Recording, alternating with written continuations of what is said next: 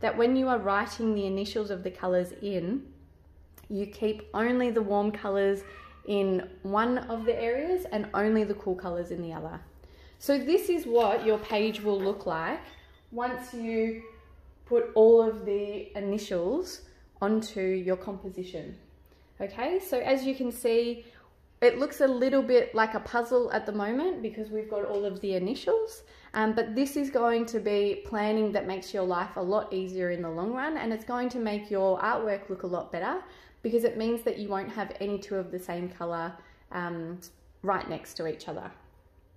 Okay, so once you start, or once you, I guess you finish writing those initials in, then you can start coloring in. And like I said before, you can use any type of material to do that. It could be colored pencils, it could be crayons, it could be paint, whatever you have at home that is accessible. Um, it could be textures you can use, that's up to you. Just remember if you are using paint to maybe let your parents know um, just so that you can set it up somewhere in your house where it's not going to be too messy and so you don't damage any furniture, etc.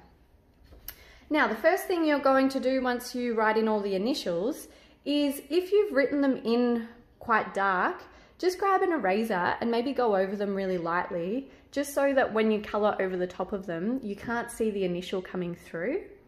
And basically you're going to color in your initials first, and then you are going to color in the background. So here is an example of the artwork once you have colored the initials in. So already you can see that it's starting to stand out from the background.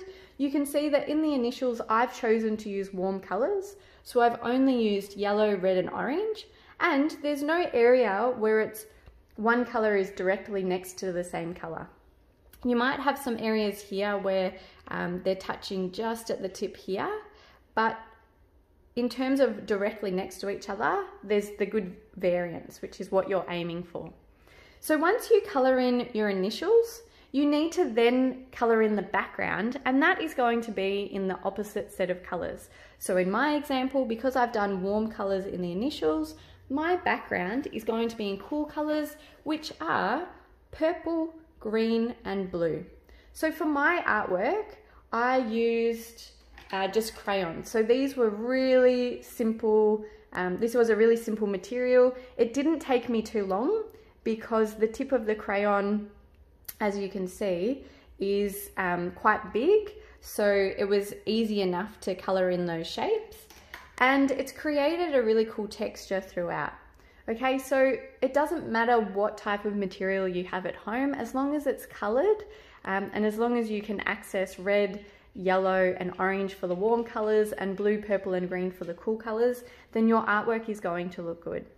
Now you can also see that once I've finished coloring everything in, I've gone over my lines with the Sharpie or the marker like I said before.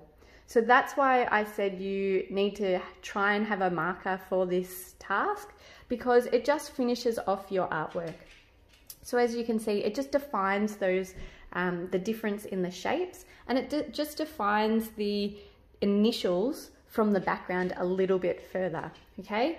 And a common question that I get asked is, when you are going over all your lines with a marker, do you still go over the lines within the initials? And the answer is yes.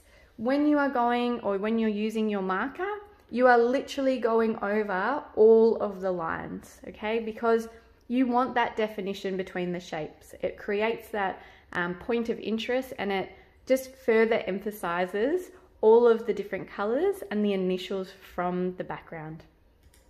Okay, so I'm going to leave the video there. Hopefully it's been helpful for you.